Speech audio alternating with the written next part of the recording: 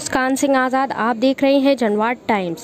प्राथमिक विद्यालय धनौली विकास खंड अकोला आगरा में बड़ी धूमधाम से मनाया गया वार्षिक उत्सव छात्र छात्रा को पुरस्कार किया वितरण।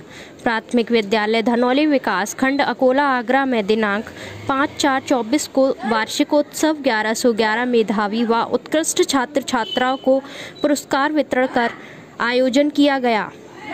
कार्यक्रम का शुभारंभ माँ सरस्वती के चित्र पर मल्यार्पण कर किया गया। नवीन सत्र में नामांकन व नियमित उपस्थिति हेतु विद्यालय के स्टाफ द्वारा बनाए गए टीएलएम की प्रदर्शनी लगाकर अभिभावकों को जागरूक व प्रोत्साहित किया गया।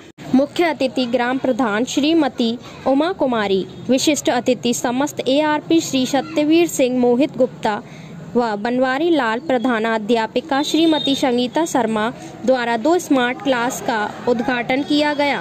कार्यक्रम की अध्यक्षता श्रीमती संगीता शर्मा व संचालन श्री चंद्र प्रकाश गौतम द्वारा किया गया।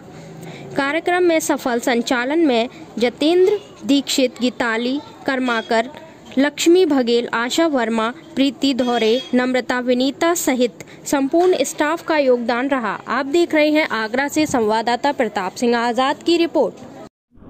अपना परिचय दीजिए और इस कार्यक्रम के बारे में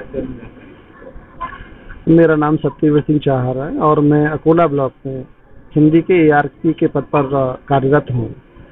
आज क्योंकि 31 को हमारा सत्र समाप्त हो गया था समय अभाव के कारण हम लोग इस वार्षिकोत्सव को इकतीस से पहले नहीं कर पाए थे।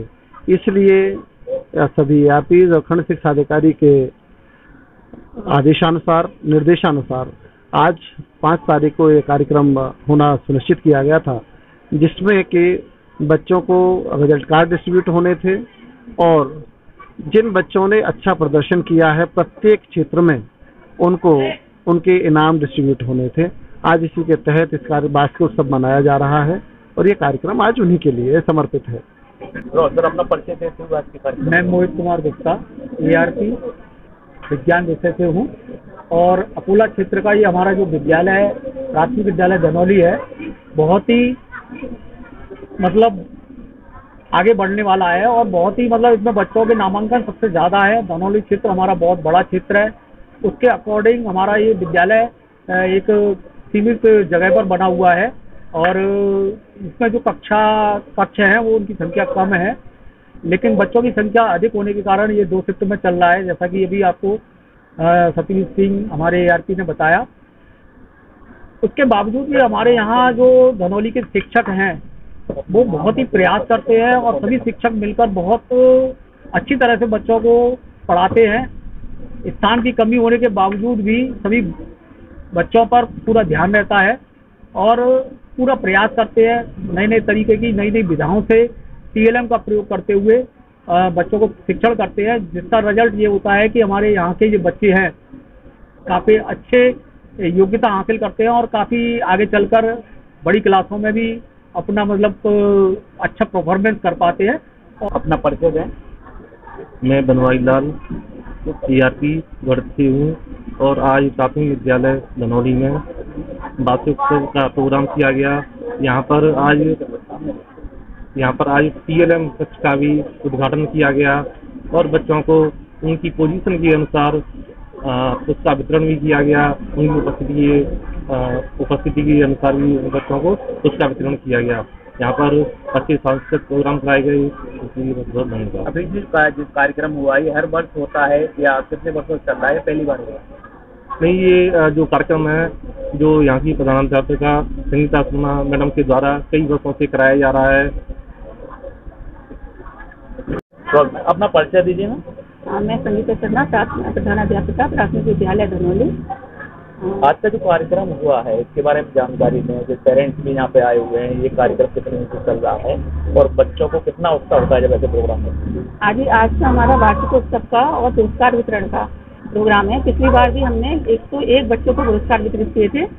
इस बार हमारे एक सौ ग्यारह बच्चों को पुरस्कार वितरण का कार्यक्रम है और हमने अभिभावकों को बुलाया कि जिससे वो बच्चों को यहाँ पे टीएलएम प्रदर्शनी लगाई कि वो हमारे नए सत्र में नवीन प्रवेश के लिए जो है प्रोत्साहित हों, जागरूक हों और अपने बच्चों को नियमित रूप से यहाँ पर विद्यालय में भेजें।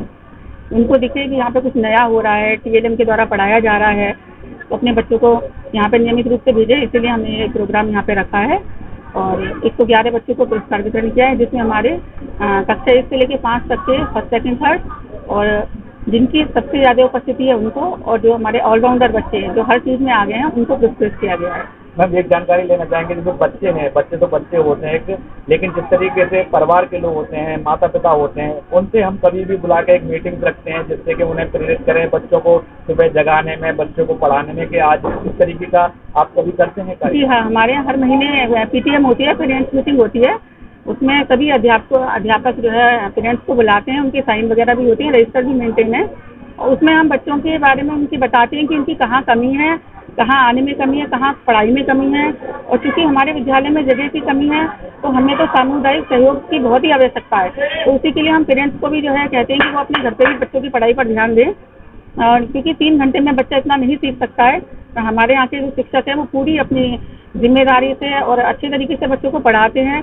लेकिन थोड़ा सा है ग्रामीण एरिया में क्या होता है कि बच्चों को अभिभावक थोड़ा कम भेज पाते हैं, नियमित रूप से नहीं आ पाते हैं तो उसी के लिए हमारी हर महीने बैठक होती है। उसमें हम अभिभावकों को जो है जागरूक करते हैं उनसे हमारी एसएमसी की जो है एसएमसी बनी हुई है विद्यालय प्रबंधन समिति उनके सदस्यों से भी कहते हैं कि जो आसपास के हैं उनके क्षेत्र के जो भी लोग हैं उनको आप बोलें कि वो बच्चों को अपने नियमित भेजें। बच्चे रोज आएँगे तो सीखेंगे।